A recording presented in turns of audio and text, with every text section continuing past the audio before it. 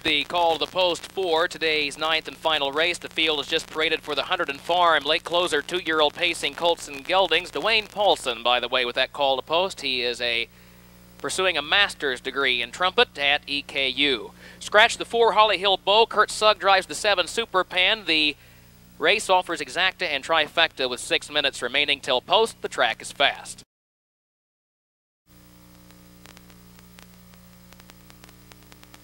Field is now less than an eighth of a mile from the start.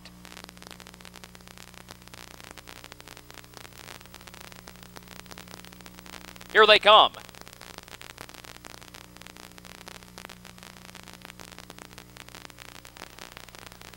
They're off and pacing. Give him six is away well. Super Pan is there, and Spirit Rider also, along with Robomac down toward the inside. John Campbell puts the wraps on Spirit Rider, wanting to drop him in about fourth down next to the rail, and they will do so just in front of Dry Dock around the turn. Then Make the Mark is next, followed by Chips and Sparks next to last. Devilkin, the early trailer. Meanwhile, Robomac comes out of the pack with the lead. Give him six. We'll drop in behind him second front quarter in 28. They're on to the back stretch. Super Pan is traveling in third, but there goes Give Him Six. He's moving off the rail to get the lead well before the half. Robomac is now in second spot. Super Pan is third by two. Then Spirit Rider, who's been parked all the way, is fourth and still moving on the outside.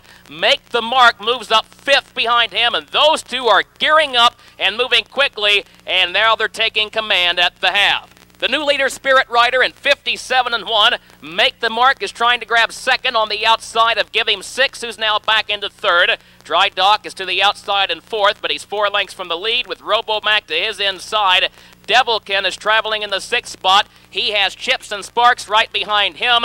And finally, Superpan is all the way out to last. At the three quarters, Spirit Rider has the lead by just a length. Make the Mark is going to have to reach down and find a little more than that. He's still hanging third. In fact, Give Him Six has taken second back away from him off three quarters and 125 and 2. And Spirit Rider now passes the eighth pole on almost a two-length lead, but Give Him Six is coming to the outside, but Devilkin third. Spirit Rider short lead. Give Him Six under a repeated whip is not closing any ground.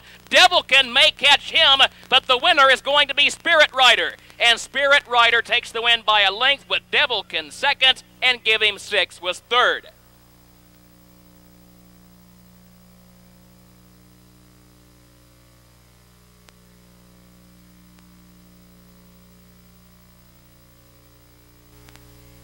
Yeah.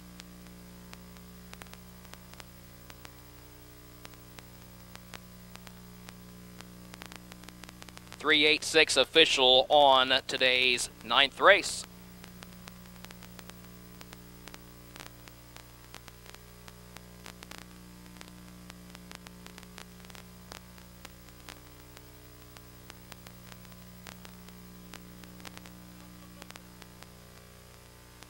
Steve and Cindy Stewart and Hunterdon Farm, well known at the annual yearling sales. In fact, they offered a number of yearlings recently here at the Kentucky venues, and now this division of the Hunterdon Farm late closer for two-year-old Pacers goes to Spirit Rider and Apache's fame, trained in the Bob McIntosh stable.